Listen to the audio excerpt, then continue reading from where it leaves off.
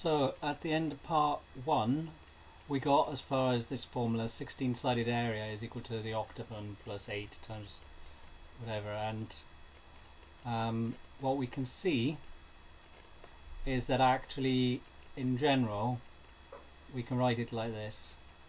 Um, so this is basically the same formula as here but this is just for 16 sides. And in general you can see that you're going to double this number every time.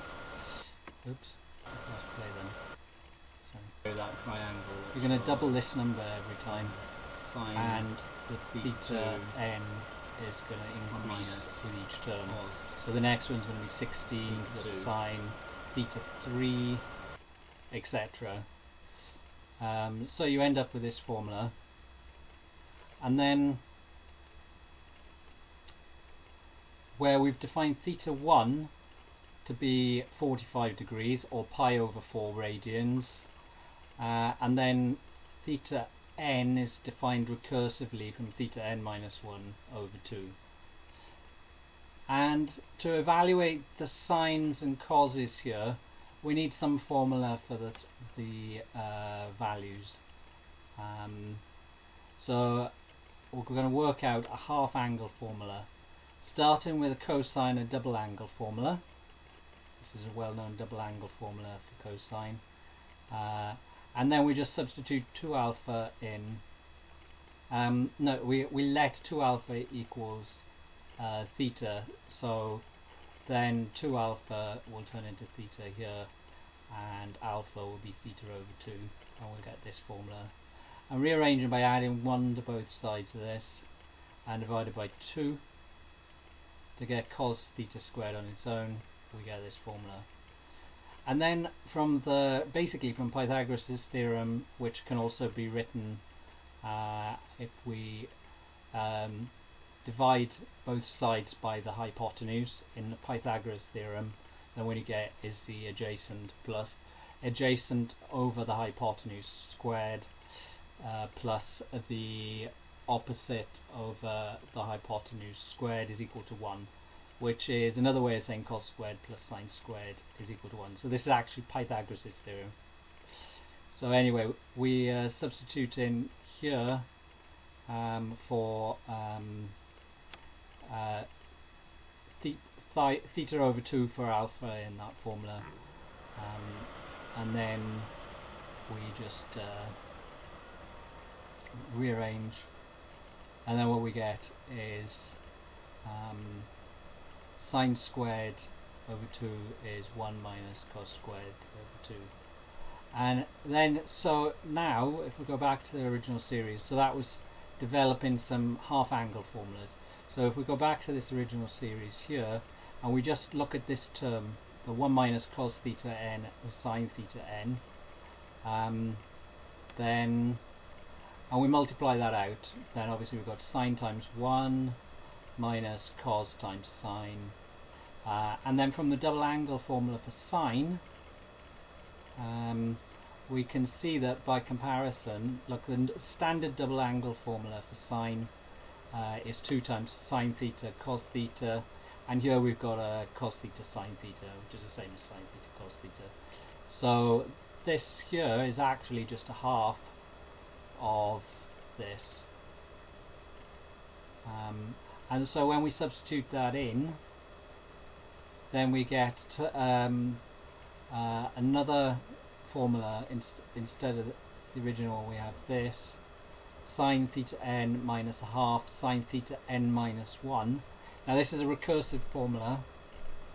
Um, but when we substitute this back into the expression for a so now instead of using this 1 minus cos theta n sine theta n we've done after the rearranging we've rewritten it as sine theta minus a half sine theta n minus 1 uh, and then when we substitute that in this actually becomes a telescoping series. So for example a7 would be 2 square root of 2 plus 8 sine theta 2 blah blah blah all this but what we notice is that here we've got 16 times sine theta 2 Uh, well, well, when we multiply this out, we get 8 sine theta 2 minus 4 sine theta 1 plus 16 sine theta 3 minus 8 sine theta 2. Oh, we can see, look, this 8 sine theta 2 is cancelling with this 8 sine theta 2 here. And then the 16 sine theta 3 is cancelling with the 16 sine theta 3 and actually everything cancels out apart from this 64 the very last term 64 sine theta 5 and we're by noticing that actually um, this term 4 sine theta 1 is the same as 2 square root of 2 so 4 sine theta 1 is 4 times sine 45, which is 4 times 1 over square root of 2, multiply top or bottom by square root of 2, and we get 2 square root of 2. So that, that term and that term cancel. So we're left with A7 is 64 sine theta 5.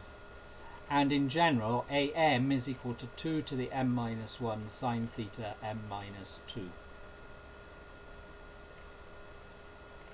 So now, if we substitute in t for cos theta, and we look at these two formulas, cos squared theta here and sine squared theta here, when we substitute in, let t equal t1 equals cos theta 1, yeah? then we can see that t2 in this formula would be the square root of t1 plus 1 over 2 which is this formula here yeah and t1 because cos of 45 is 1 over square root of 2 t1 is this. And then when um, so this approximation for pi comes out of the expression for AM because if we know from and the key the key equation here is the one for sine squared theta yeah so if we know Tn that's cos theta whatever the theta n is uh, then we know that uh, if we square root it we get the sine theta which is in this final expression. And we have to multiply this 2 to the m minus 1 so this am becomes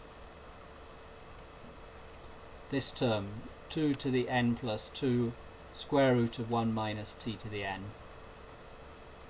and what we notice is that it actually does converge pretty quickly. If You can see the difference between this and the actual value of pi. It goes because pi is 3.1415926 and then there should be 535 but uh, it stops here so by the 12th decimal place it's this accurate this approximation uh, just by doing these recursive square roots which I think is quite neat. But uh, the problem is that the um, uh, rounding errors outweigh everything and after that um, I can't get any more precision. I'd have to do a higher um, uh, digit length uh, calculation because the rounding errors drown it out after 12 steps. Um, but anyway um, I was just playing around and uh, found this formula kind of like it and it does converge pretty quickly as you can see. Hope you like the video, please like and uh, subscribe.